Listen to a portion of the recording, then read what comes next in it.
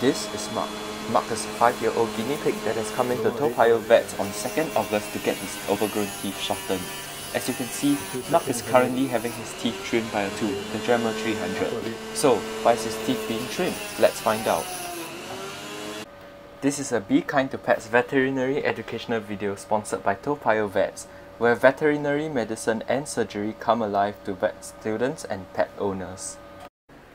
Mark's teeth are overgrown due to malocclusion. So, what is malocclusion? Malocclusion is the imperfect positioning of the teeth when the jaws are closed.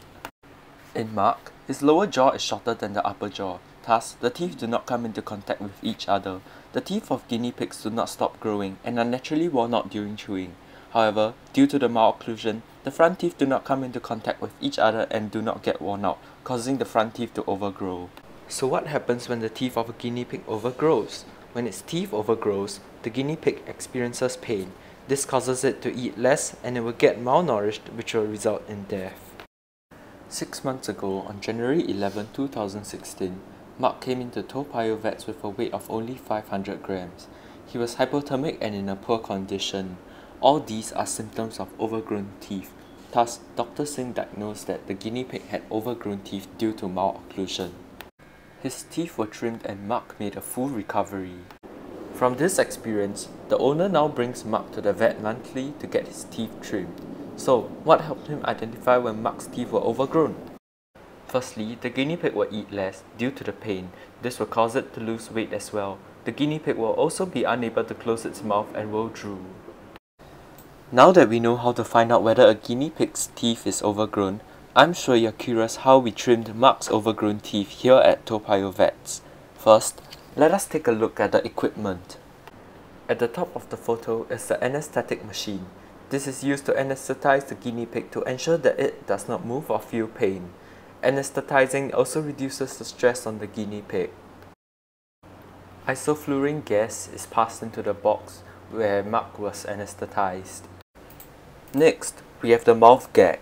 This is used to keep the guinea pig's lips away from the teeth to prevent accidental cutting of its lips. This is also used to keep the guinea pig's mouth open. There are two tools we can use to cut Mark's teeth.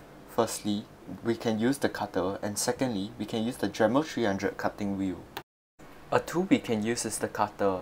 The advantage of cutting is that it is fast and cheap, however there is a risk of its teeth being fractured which will cause more pain to the guinea pig. The other tool we can use to trim Mark's teeth is the Dremel 300 cutting wheel. The advantage of using the Dremel 300 is that it leaves a smooth teeth surface after trimming, however compared to cutting it takes a longer time. So here we are, with Mark's teeth trimmed and all ready to go home. Keeping a guinea pig's teeth short is extremely important in ensuring that they stay healthy and happy. Not trimming a guinea pig's teeth may result in malnourishment and eventually death, so it is important to keep a guinea pig's teeth short. Before Mark came, we had another case of malocclusion in another guinea pig. Due to its malocclusion, its six front teeth became overgrown, causing it to eat less and lose weight. To trim its teeth, it was first given gas anesthesia to prevent pain and movement. Its teeth were trimmed by the Dremel 300 cutting wheel and it is now healthy and happy. To conclude, trimming a guinea pig's teeth with the Dremel 300 cutting wheel is just a temporary solution.